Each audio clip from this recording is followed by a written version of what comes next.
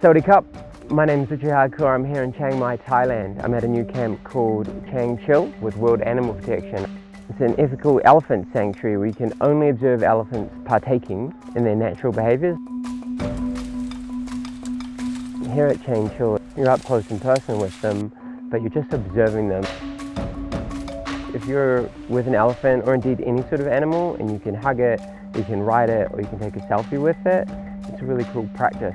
If you do really care about elephants, and I think most people do, come to an ethical space like this. Come to a space where the elephants can only be observed and not abused for your entertainment.